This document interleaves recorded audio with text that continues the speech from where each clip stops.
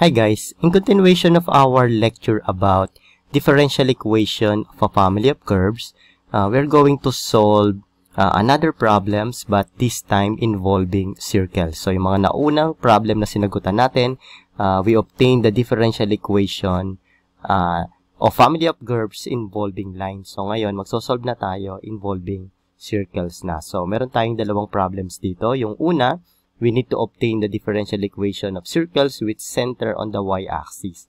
So, yung center ng ating circle is nandito sa ating y-axis. And ito yung magiging solution natin. Then after that, we're going to solve this wherein we need to obtain the differential equation of circles with center on the line y is equal to x. So, itong green line na nakikita natin dito, yan yung ating y is equal to x and our center is located there. So, ito yung magiging solution natin kahit medyo mahaba siya, pero uh, isosolve natin to ng step by step para maintindihan ninyo, no? So, ito yung mga sasagutan natin ngayon. So, hindi na natin patatagalin pa. Let us now dive to our step-by-step -step solution. In our first problem, we need to obtain the differential equation of circles with center on the y-axis. So, meron na tayo ditong uh, diagram, no? Yung ating figure na gagamitin para sa ating problem. So, we have our x and y axis and we have a circle here. And this circle will represent lahat ng circles having center on the y-axis. So, let us say that this is the center of our circle. And, di ba, ang coordinates ng ating circle is HK, di ba, in our analytic geometry. But since it is lying on the y-axis, therefore our x will be 0 and our y will be k. Okay? Kung naalala ninyo yon sa ating analytic geometry, ang coordinates ng ating center ng circle is hk. Okay? But on this case, dahil nasa y-axis ang ating uh, center ng ating circle, so therefore our x is equal to 0. Okay, and in that case, let's say ito yung ating radius. Okay? Ito yung radius natin, which is, uh, let us represent this as A, no? Para mas madali natin siyang ma-identify sa ating solution. Okay, so to begin, sulat muna natin yung equation ng ating circle. So we have x minus h squared plus y minus k squared is equal to a squared. Okay, so because uh, we said here that our radius is equal to a. Okay, now since our h is equal to 0, so may iwan sa atin dito is x squared plus y minus k squared and this is equal to a squared. Okay, so in order to obtain the differential equation, kailangan natin siyang i-differentiate, no? Katulad ng ginawa natin sa mga previous problem natin. So, let us take the derivative of x squared. So, this is equal to 2x. Then, the derivative of x, which is 1. Plus, the derivative of y minus k squared. So, we have 2 y minus k. Then, the derivative of y minus k, which is y prime and this is equal to the derivative of a squared. So this is a constant, so this is equal to 0. Okay, so we have 2x plus 2y prime y minus k is equal to 0.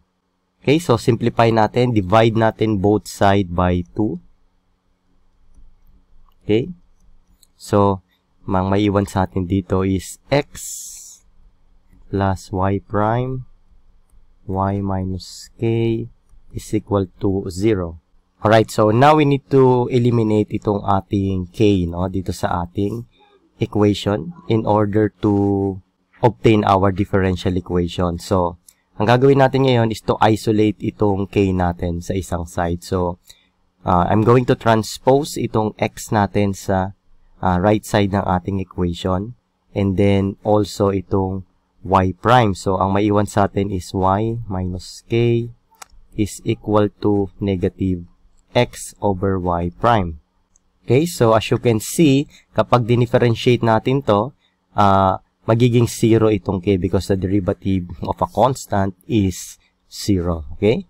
So, let us now take the derivative ng both side ng ating equation. So, the derivative of y is y prime minus the derivative of k is 0 and this is equal to the derivative of uh, negative x over y prime.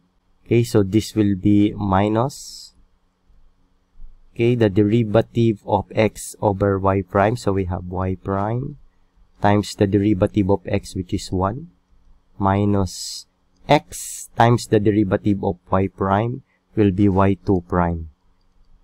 Over, uh, we will be squaring itong ating denominator which is y prime squared.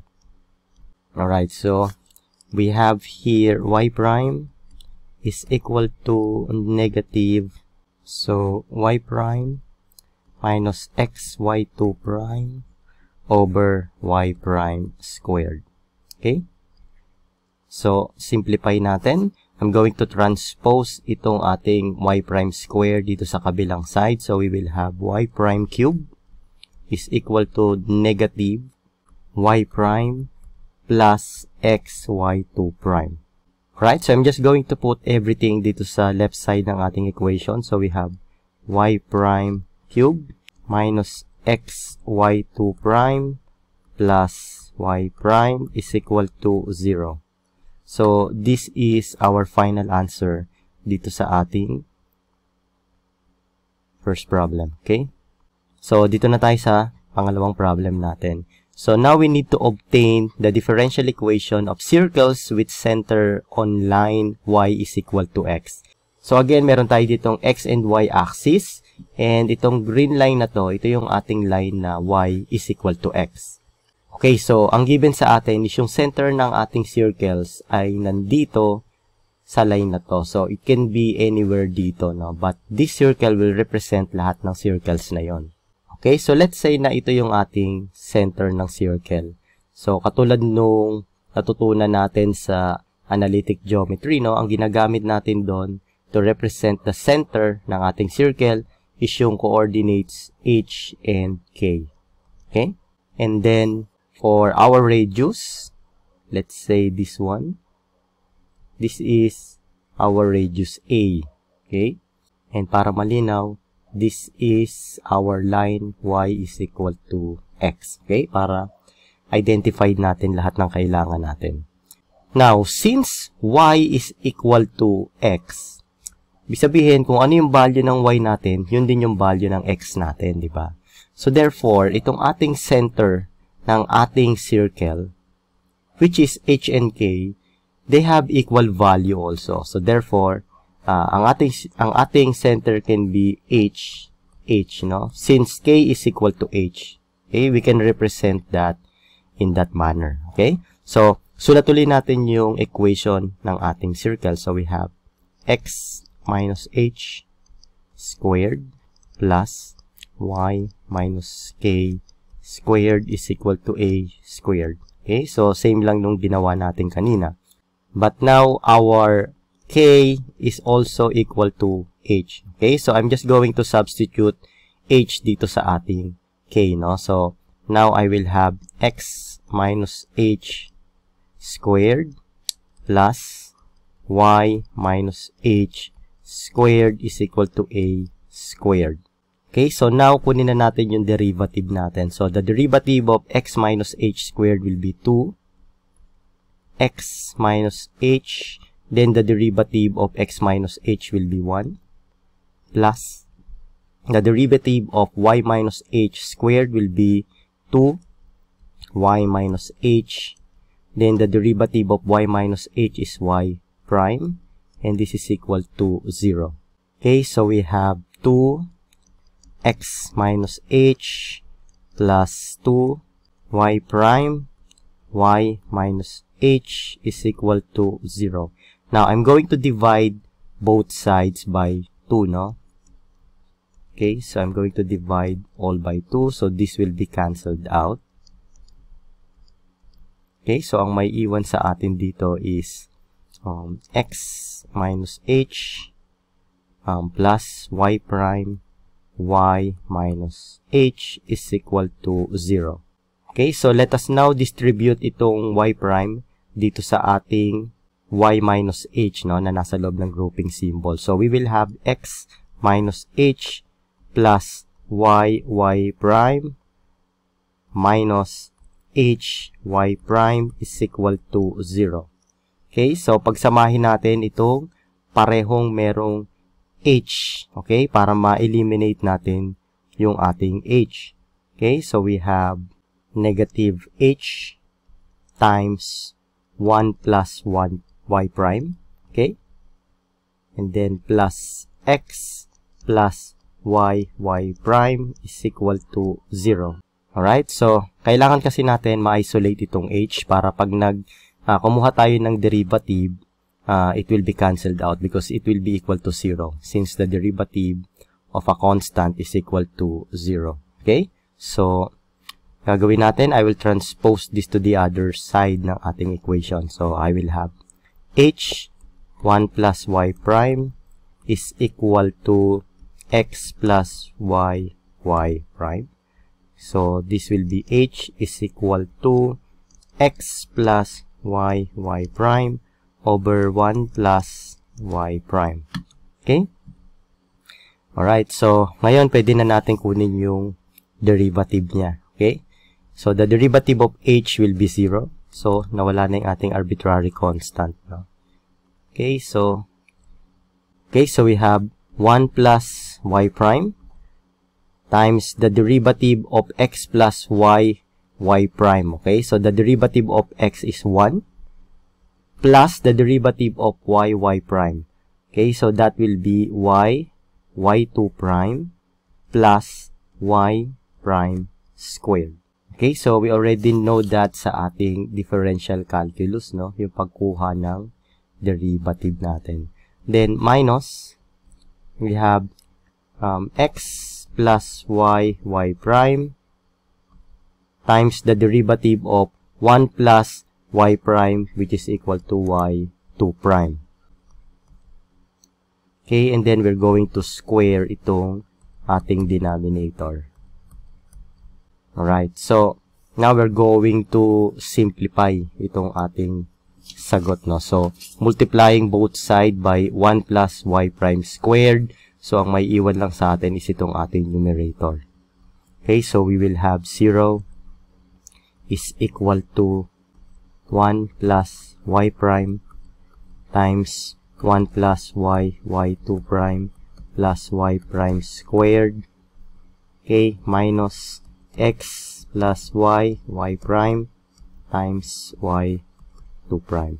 Alright, so in order to simplify, i-distribute na natin itong ating mga polynomials dito, no? So, distributive property yan. So, we have 0 is equal to 1 times 1 will be 1 plus 1 times y times y prime will be y, y2 prime plus 1 times y prime squared then plus y prime times 1 will be y prime then plus y prime times y, y2 prime will be y, y prime, y2 prime Then plus um, y prime times y prime squared will be y prime cube.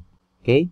Then here we have minus y2 prime times x will be x y2 prime. Then minus y2 prime times y, y prime will be y, y prime, y2 prime. Okay? So, kung makikita ninyo, meron tayo ditong similar term, meron tayong y, y prime, y2 prime. And this is also y, y prime, y2 prime. And they are in different sign o opposite sign. So, this will be equal to 0. Okay, so therefore, ang may iwan sa atin dito is 0 is equal to, um, let me arrange it now sa mas magandang ayos, no? Kasi, uh, as you can see, meron tayo ditong pwedeng i-simplify, no? eh, dahil dito pare, pareho tayo merong y2 prime. So, pwede natin yang i-factor out. Okay, so unahin ko itong uh, isulat itong y prime cube. So, we have y prime cube. Okay, so ayusin ko lang yung pagkakasulat. Kasi mukhang 13 eh. So, y prime cube. Okay, then sunod ko na itong y prime squared. So we have plus y prime squared. And then, sunod na natin itong y prime. So we have here plus y prime. Then we have plus 1 here. Okay? And then, sulat na natin to. Um, plus y, y2 prime. And then we have this one, which is minus x, y2 prime. Okay? So, factor out ko lang itong y2 prime para ma-simplify natin. So, we have 0 is equal to y prime cube plus y prime squared plus y prime plus 1 plus y2 prime times y minus x. Okay? So, this is our final answer dito sa ating second question. Okay, so that's all for now. Thank you very much and have a nice day. To watch more of our lecture videos about engineering and STEM subjects, please subscribe to our YouTube channel and click on the notification bell para lagi kayong updated sa mga videos na i-upload namin. We are regularly uploading tutorial videos in engineering, mathematics, chemistry, physics, at iba pang subject na magagamit ninyo sa inyong pagre-review. So, thank you very much sa patuloy ninyong pagsuporta sa engineers.org.